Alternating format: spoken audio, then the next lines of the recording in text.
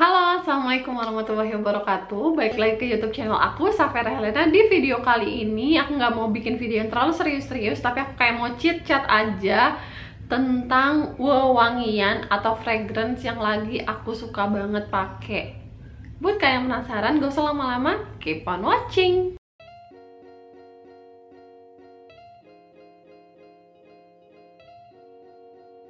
aku tuh udah tahu brand parfum ini dari awal mereka launch.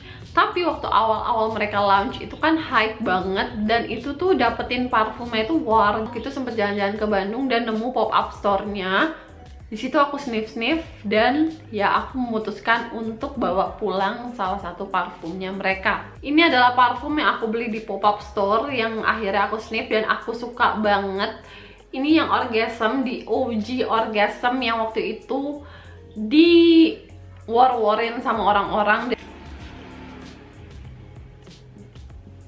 Pertama kali disemprot yang keluar adalah wangi fruity. Kalau di deskripsinya dia wangi red apple gitu. Terus juga wanginya langsung manis. Manisnya tuh kayak langsung keluar di semprotan pertama. Wanginya tuh kayak ada hintnya greennya tapi manisnya lebih dominan menurut aku terus buat sehari-hari ini wanginya cocok banget karena kalau kalian semprot sebanyak apa pun menurut aku ya disemprot sebanyak apa pun tuh nggak akan bikin giung nggak bakal bikin belenak ataupun pusing dry downnya itu kayak udah mulai keluar floral bakal ada wangi vanilla yang bukan vanilla gurmang tapi kayak vanilla yang nyaman dicium terus kayak nggak yang kayak vanilla nyentrong dan bukan kayak vanilla manis gitu. Aku seringnya pakainya di pagi ke siang hari, terus reapply perfumnya lagi kalau misalnya siang-siang udah mulai hilang. Nah ini kan yang awal-awal ya keluar. Terus mereka tuh keluarin lagi beberapa wangi yang upgraded dari si orgasm di OG orgasm ini. Yang aku punya adalah wangi yang darker shade of orgasm.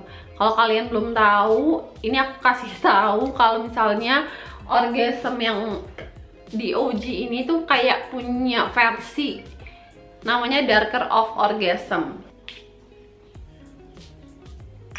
kalau yang orgasm yang original atau yang di OG orgasm itu tuh ketika pertama kali dicium atau disemprot itu yang keluar adalah wangi manis langsung dan wangi fruity.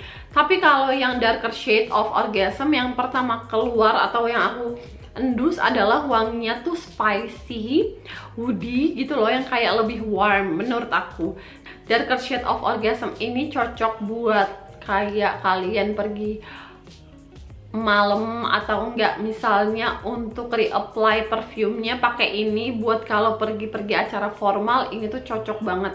Ini tuh versi lebih strong terus juga lebih dewasa gitu kalau menurut aku ya.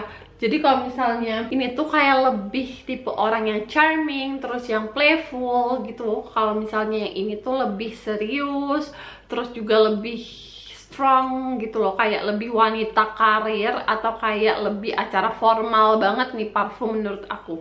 Ini kemiripan mereka berdua adalah ketika udah dry down itu tuh menghasilkan wangi vanilla yang awet yang tahan lama dan enggak vanilla yang belenek gitu. Dan bukan vanilla manis kue ya.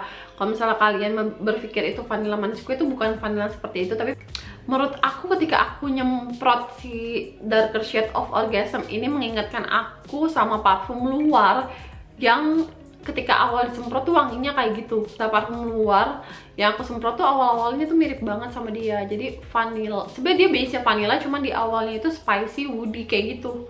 Jadi mungkin menurut aku untuk harganya mereka yang 300 ribuan itu worth to try banget. Jadi kalau aku kasih kesimpulan ya kalau misalnya ini lebih ke pagi ke siang hari. Terus kalau misalnya mau acara santai kalian bisa cocok pakai yang di OG orgasm. Tapi kalau misalnya mau acara lebih formal acara malam hari terus ketemu orang-orang yang kayak serius dewasa ini cocok banget pakai yang dark shade of orgasm. Ini tuh sama sekali juga nggak pusing ya dua-duanya walaupun disemprot di awalnya beda. Tapi nanti dry downnya menurut aku oke okay banget gitu. Ya walaupun kalian layer juga menurut aku oke okay banget karena endingnya tuh juga vanilla. Nah kalau misalnya bicara tentang ketahanannya atau bahasa perparfumannya itu SPL nya ketahanannya mereka tuh menurut aku ya itu tergantung sama aktivitas yang lagi aku lakuin. Misal aku beraktivitasnya tuh pakai ojek online terus siang-siang kena debu matahari banget itu memang mereka tuh nggak akan terlalu keluar lagi. Wanginya akan menyerap wangi-wangi yang nggak enak di badan kita jadi wanginya nggak akan terlalu strong lagi gitu loh. Cuman kalau misal kalian kayak di ruangan full ber AC terus abis itu aktivitas yang nggak terlalu kena cahaya matahari itu bakal awet sampai menurut aku 6 jam di baju sih masih ya masih awet banget kedua parfum ini ya. Terutama si darker shade ini lebih ketahanannya lebih oke okay di penggunaan aku dan juga di badan pun kayak lebih nempel gitu wanginya. Dan aku tuh lebih sering reapply yang orgasm ini. Jadi menurut aku kalau kalian yang suka vanilla tapi orangnya kayak lebih serius, lebih dewasa, kalian please banget cobain darker shade ini. Karena ini tuh versi lebih upgrade, lebih strong lagi dari yang orgasm. Kalau kalian emang suka yang orgasm dulu, please cobain atau sniff yang ini.